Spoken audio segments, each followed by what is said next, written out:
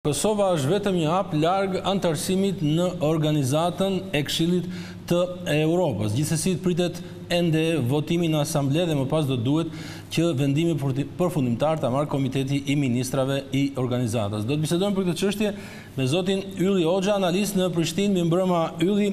Kosova do do të bëhej, nëse gjithçka shkon mirë deri në fund, anëtari i dyzet e shtatë i Organizatës, i Këshillit të Europës. Cila është pesha e kësaj ngjarje të pritshme për Kosovën, realisht? Është e jashtëzakonshme. E para, Këshilli i Evropës do të jetë organizata më e lartë, më e fortë politike në të cilën Kosova do të anëtarësohej deri sot dhe kjo do t'i ndihmonte shumë betejës së Kosovës për subjektivitet ndërkombëtar.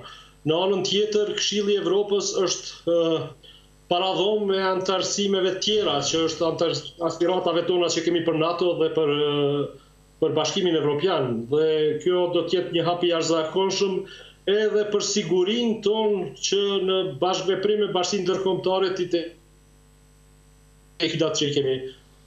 Presim që në brenda një ore Këshilli i Evropës, Asambleja të votojë Sinjalet janë pozitive, duket se do të ketë numër të mjaftueshëm të deputetëve të cilët do ta përkrahin raportin e Dora Bakoyannis për të shkuar tek Komiteti i Ministrave i cili në maj pritet të konfirmojë anëtarësimin e Kosovës.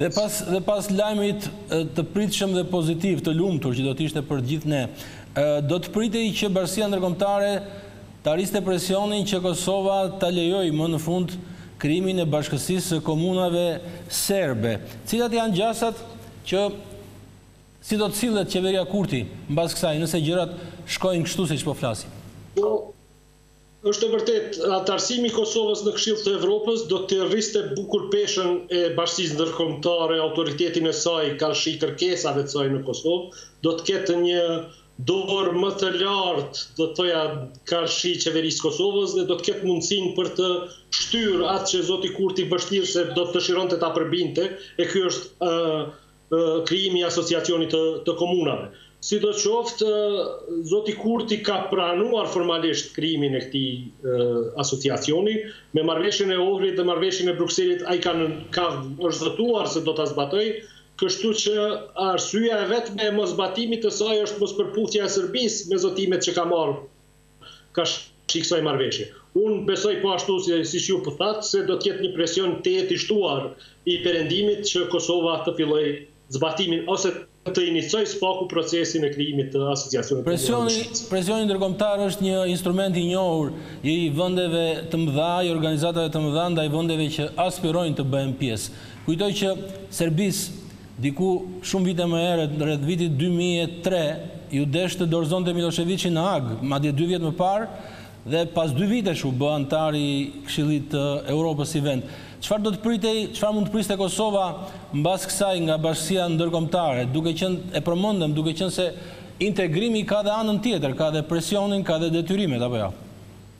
Po, absolutisht, por, Mendoj se ka një një shikim ndryshe ndaj Kosovës, sepse Kosova nuk është se çalon në aspektin ligjor karshi kërkesave, standardeve për mbrojtje të drejtave të njeriut, për demokraci, për të drejta të komuniteteve pakicë. Përkundrazi, Kosova besoj që ka strukturën ligjore më të avancuar në Ballkan sa i përket shumicës prej çështjeve dhe konventave që ajo i zbaton.